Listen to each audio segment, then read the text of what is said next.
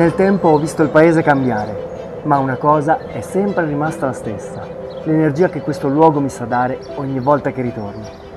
Vestina Gas e Luce è nata qui per alimentare le nostre case e attività con l'energia del nostro territorio. Se prima forniva solo gas, ora si prende cura di tutti i servizi primari, luce, acqua e fotovoltaico, per produrre in modo pulito l'energia che consumiamo. Ogni volta che scegliamo una fornitura vestina stiamo sostenendo il nostro territorio.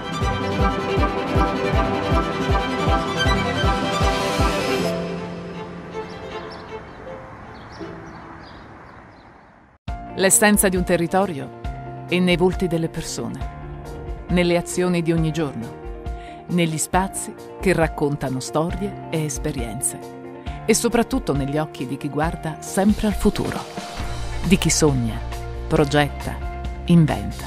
Per dare forza a tutto questo, c'è una banca che da più di 60 anni sostiene le imprese, le famiglie, i giovani, contribuendo alla crescita del territorio. Presente in 62 comuni e 3 province, con oltre 5.000 soci, è diventata la prima banca di credito cooperativo d'Abruzzo per raccolta diretta e impieghi. BCC di Castiglione Messer Raimondo Pianella, una banca differente che dà fiducia alle tue idee. La farmacia comunale Colle Corvino propone tanti servizi come Holter prestorio e cardiaco, ECG, autoanalisi del sangue e delle urine, noleggio attrezzatura prima infanzia e liste nascita. Oltre a numerosi sconti sui farmaci, la nostra esperienza e professionalità al servizio del cittadino.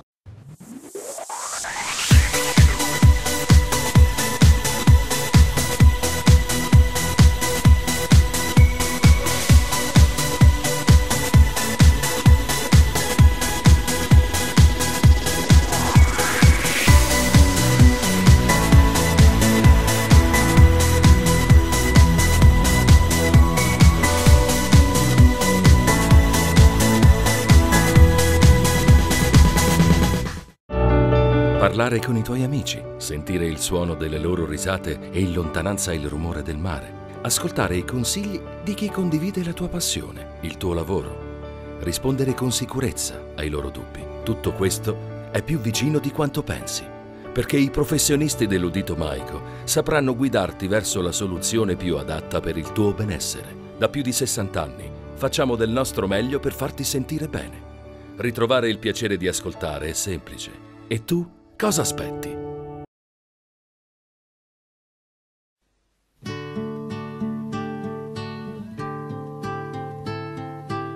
Antonio Di Teodoro del gruppo Cantiere Cucine oggi nel giorno di San Francesco, patrono d'Italia, avete fatto un regalo alla cittadinanza di Loreto riaprendo una chiesa chiusa dal sisma del 2009. Cantiere Cucine è composto da Andreas Weibol, Francesco Perilli, Davide Orani e io che sono Antonio Di Teodoro. Diciamo l'anno scorso abbiamo parlato con il sindaco, siamo costituiti appunto in associazione Cantiere e Cucine e gli abbiamo chiesto semplicemente di darci la possibilità di rimettere a valore le cose che il paese tiene, quindi dire, il territorio che è la memoria che lo sostiene e dire, noi ci auguriamo che sia anche motore per scelte successive. Abbiamo fatto una prima serata l'8 luglio in concomitanza con la mostra di Michael Kenna, abbiamo chiamato amici da pescare e da fuori che sono saliti e per l'occasione abbiamo riaperto l'olioteca, l'abbiamo pulita e abbiamo organizzato una serata, quel posto molto bello.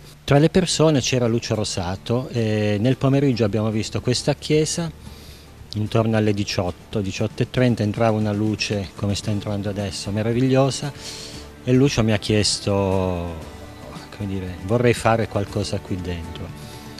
Lucio Rosato è una galleria d'arte contemporanea a Pescara che si chiama Uso Magazzino, che produce parecchie giornate di, di arte. Ci siamo messi dire, a progettare questo evento e e oggi siamo qui dire, a condividere questa giornata di arte e spiritualità. Voi come Cantiere Cucine che cosa intendete fare con, con la chiesa di San Francesco a Culare Capotino?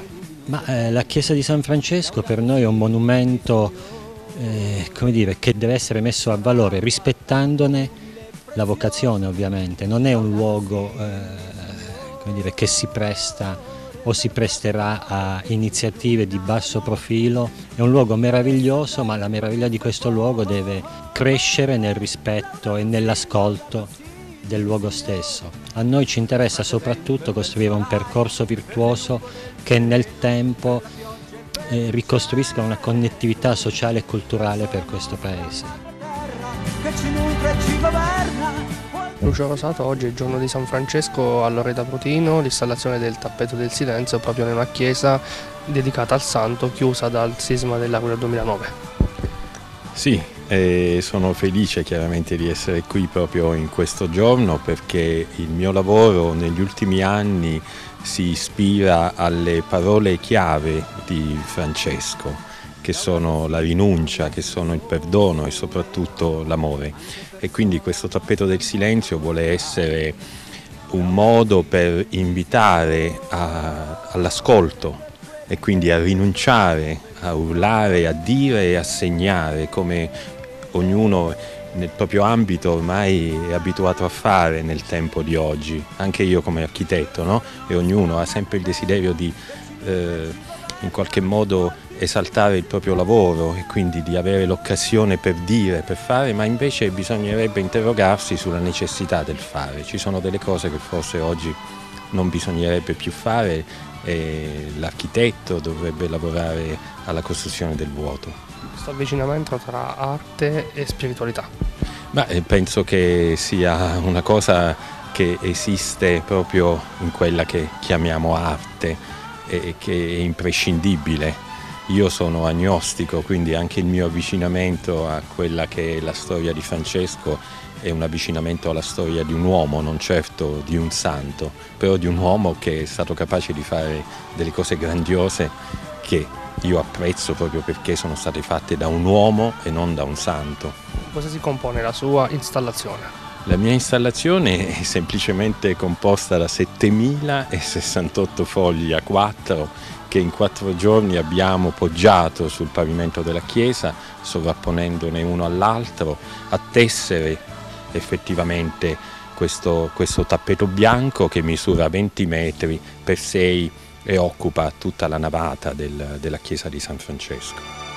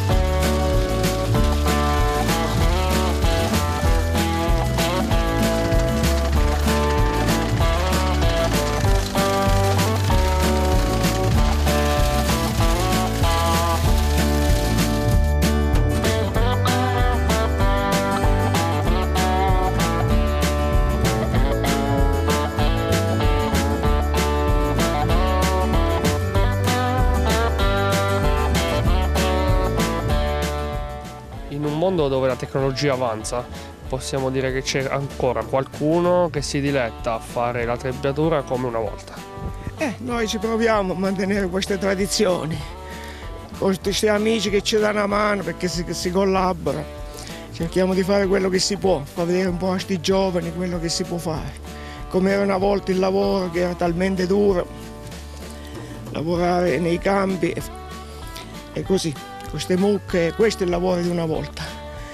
Sicuramente, sicuramente non, sa, non è facile, comunque non è possibile ancora fare tutto come una volta, però eh, ci si prova, si sta insieme. Sì, noi cerchiamo di farlo questo lavoro per far vedere a questi ragazzi tutto come era fatto il mondo prima, i lavori. Non è che si può fare questi lavori qua, ormai è passato. Manteniamo queste cose, quello che si può fare lo facciamo, far con questi amici ci divertiamo un po' più che altro. Quanta fatica c'è però? C'è tanta fatica, si vede che c'è tanta fatica. C'è da preparare le mucche, preparare la macchina, perché macchine che ormai non si trovano più, mantenerle in ordine e fare questo lavoro. Però c'è orgoglio alla fine. tanto voglia, tanta passione, solo con tanta passione si può fare queste cose.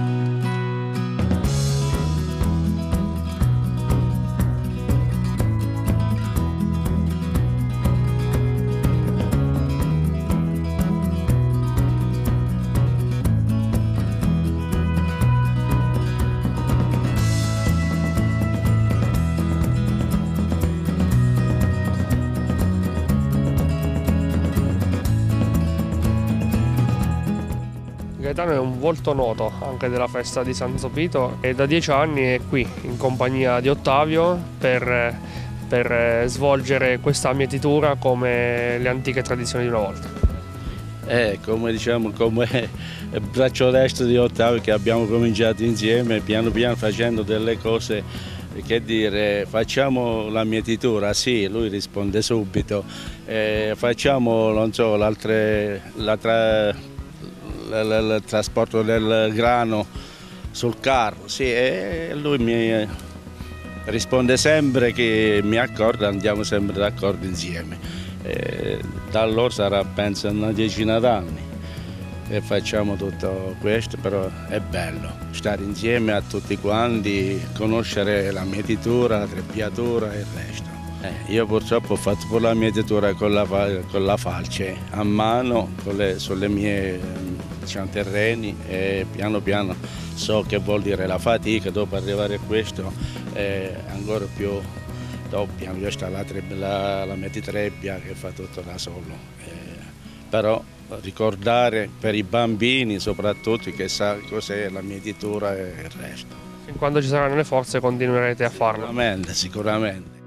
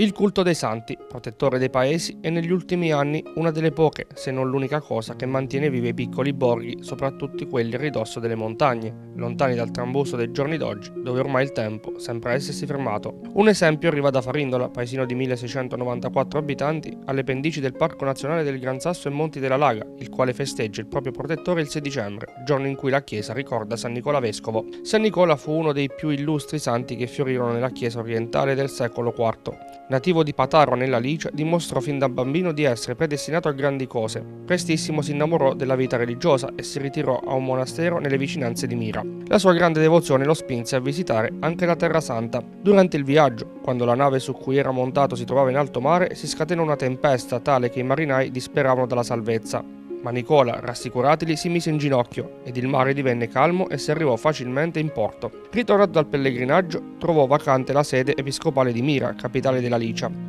Nicola, già celebre per i suoi miracoli e per la sua vita esemplare, fu eletto ad occupare quella sede e la resse sapientemente per molti anni. Fu grande benefattore dei poveri, padre degli orfani e sostegno delle vedove. Il suo corpo si conserva a Bari, nella basilica del suo nome. A Farindola la chiesa madre di San Nicola fu ricostruita negli anni 20 su un precedente edificio datato 1080. Presenta un portale in pietra lavorata e al suo interno una navata unica, semplice e regolare, dove è possibile ammirare una statua linea di Sant'Antonio. Ad organizzare i riti religiosi e civili di quest'anno il Comitato Festa di San Nicola Vescovo, guidati dal parroco del paese Don Luca di Domizio, che raccoglie tante adesioni in paese, unitamente al comune di Farindola, la Proloco e all'associazione Vivi Farindola. Momento toccante e significativo venerdì 6 dicembre, quando è stata celebrata la solenne messa, presieduta da Sua Eccellenza Monsignor Tommaso Valentinetti, dedicata alle 29 vittime della tragedia di Ricopiano, in cui erano presenti alcuni familiari, tra cui quella Colangeli e Giancaterino di Farindola. Nell'intervista le parole di Nicola Colangeli, uno degli artefici di questa manifestazione. Io ho 19 anni che organizzo questa festa, poi dopo la tragedia ci siamo fermati, abbiamo fatto dopo un anno solo la cosa religiosa, oggi con il nuovo prete qua con Don Luca che mi ha invogliato tanto, mi volevo pure dimettere dal comitato mi ha invogliato a rifarla questa festa perché la vita va avanti e lo faccio pure per mia figlia che lei ci teneva tanto questa festa e Roberto pure ci sponsorizzava ogni anno. Io nell'occasione voglio ringraziare tutti i sponsor, tutti coloro che hanno collaborato per questa bella manifestazione perché noi con ricavato lo diamo in beneficenza, abbiamo fatto parecchie opere qua alla chiesa, che la chiesa sta un po' disaggiata per le opere da fare, abbiamo rimesso a posto l'orologio, tante cose e con ricavato che ci facciamo questa festa lo doniamo a qualcuno. L'anno scorso abbiamo per il Giardino della Memoria abbiamo dato 2.450 euro. È una cosa, oggi sono dispiaciuto che non ho visto un familiare delle vittime. Qua io credevo che qualcuno veniva, non è venuto nessuno e purtroppo può darsi impegni di lavoro e compagnia bella. E devo dire. Andare avanti soprattutto per tenere unita la comunità di Farindola che ha bisogno di ripartire, l'abbiamo detto sempre in questi anni e anche queste, eh, queste occasioni, queste feste servono per tenere unito un paese.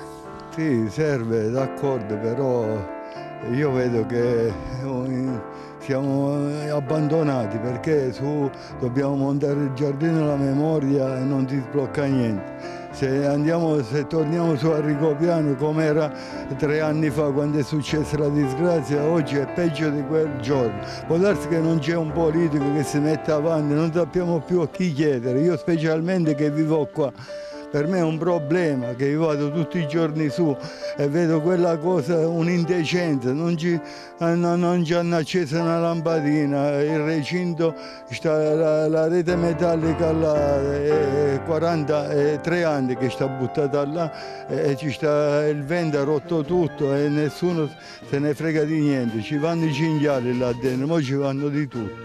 Io non, non ho più parole da dire perché sono scoraggiato, a vivere qua è scoraggiato.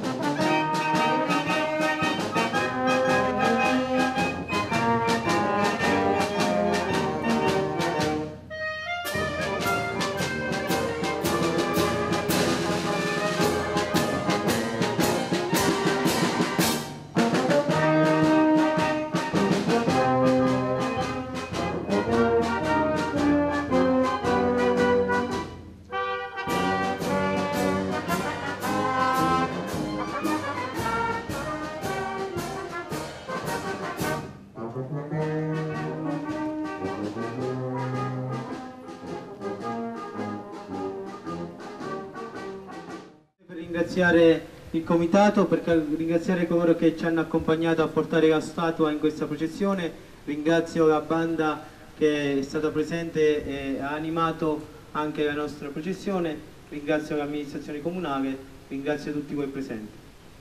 Il Signore sia con voi. Vi accompagni sempre la benedizione di Dio Onnipotente per intercessione di San Nicola, nel nome del Padre, del Figlio e dello Spirito Santo. Amen.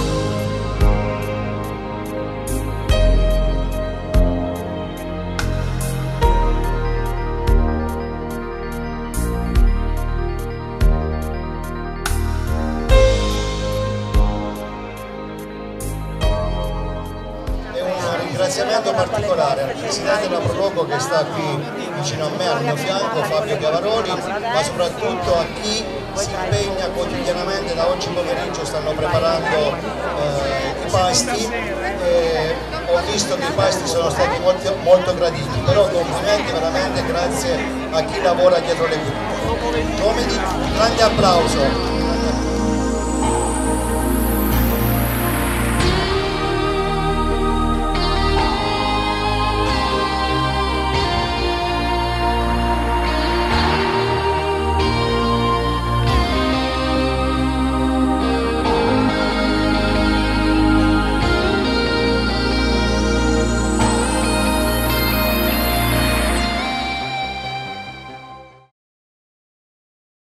L'essenza di un territorio e nei volti delle persone, nelle azioni di ogni giorno, negli spazi che raccontano storie e esperienze e soprattutto negli occhi di chi guarda sempre al futuro, di chi sogna, progetta, inventa. Per dare forza a tutto questo, c'è una banca che da più di 60 anni sostiene le imprese, le famiglie, i giovani, contribuendo alla crescita del territorio. Presente in 62 comuni e 3 province, con oltre 5.000 soci, è diventata la prima banca di credito cooperativo d'Abruzzo per raccolta diretta e impieghi. BCC di Castiglione Messer Raimondo Pianella, una banca differente che dà fiducia alle tue idee. La farmacia comunale Colle Corvino propone tanti servizi come Holter prestorio e cardiaco, ECG, autoanalisi del sangue e delle urine, noleggio attrezzatura prima infanzia e liste nascita. Oltre a numerosi sconti sui farmaci, la nostra esperienza e professionalità al servizio del cittadino.